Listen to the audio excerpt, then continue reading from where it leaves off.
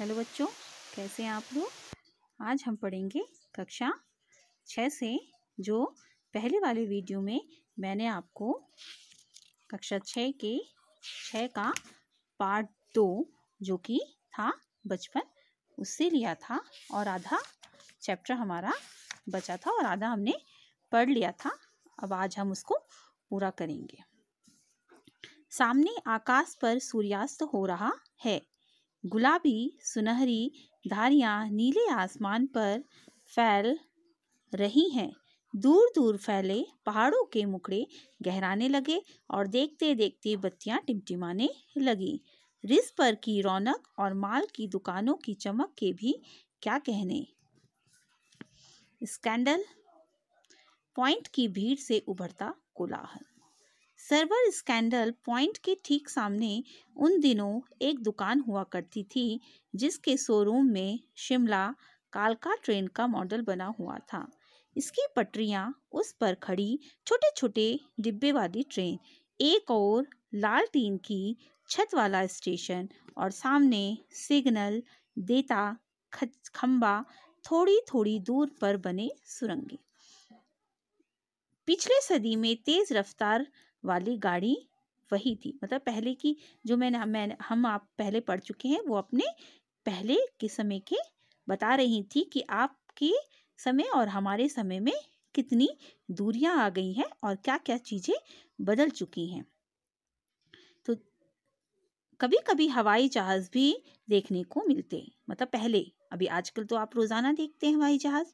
दिल्ली में जब भी उनकी आवाज़ आती, बच्चे उन्हें देखने बाहर दौड़ते दिखते एक भारी भरकम पक्षी उड़ा जा रहा है और ये कहते हैं, पंख फैलाकर। कभी कभी जब छोटे बच्चे होते थे तो क्या सोचते हैं?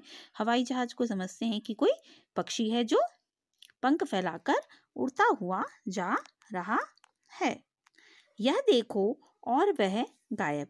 उसकी स्पीड ही इतनी तेज लगती। हाँ गाड़ी के मॉडल वाली दुकान के साथ एक और ऐसी दुकान थी, जो मुझे कभी नहीं भूलती। मतलब वह बता रही है कि मतलब मैंने कुछ एक ऐसी चीज़ देखी थी, जो मुझे आज तक याद है, जो जिसे मैं अभी तक नहीं भूली हूँ।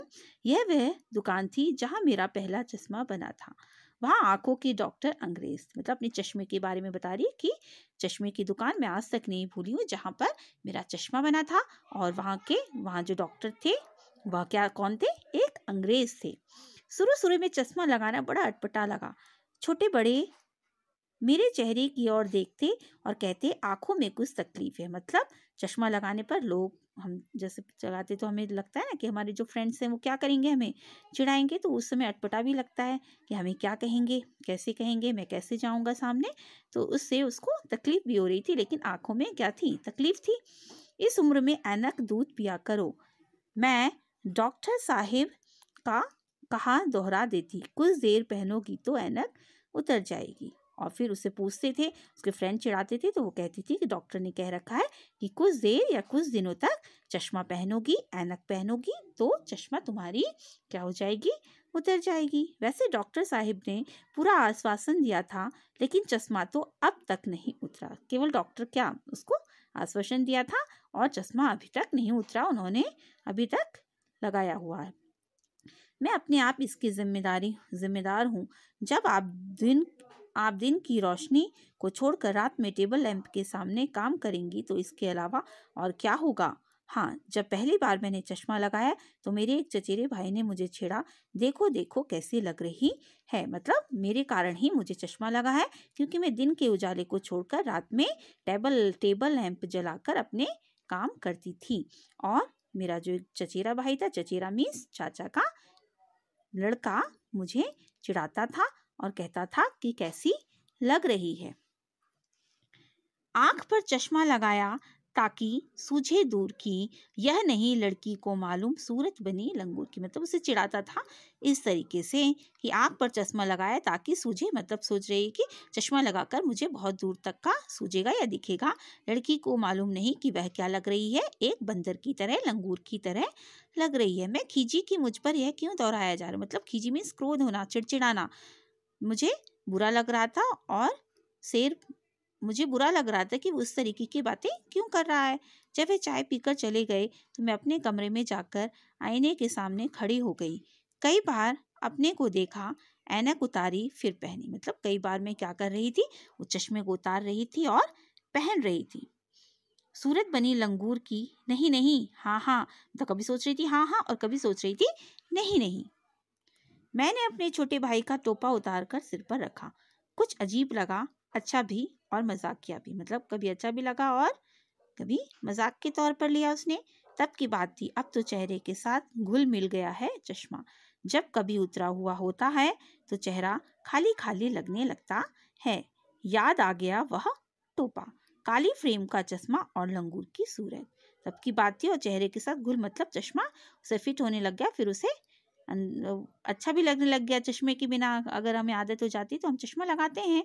और फिर उसने कभी उसे उतारा नहीं। अगर वो उतारती थी तो उसे क्या लगता था? चेहरा खाली खाली लगने लग जाता था कि उसने क्या नहीं पहना, क्या नहीं लगाया है। और फ्रेम का चश्मा और लंगूर की सूरत।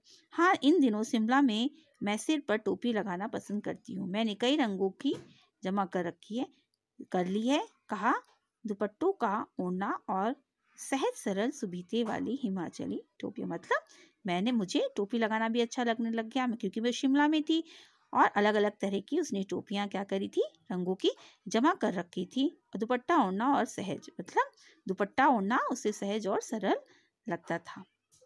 अब किसने लिखी है ये? कृष्णा सोबती जी ने लिखी है इसे। तो बेटा इसके, ये चैप्टर आपका पूरा हुआ तो आप इसे दोबारा पढ़ेंगे, अच्छे से समझेंगे और नेक्स्ट टाइम मैं आपको इसके वर्ड मीनिंग या प्रश्न अभ्यास कराऊँगी। ओके बेटा टेक केयर थैंक यू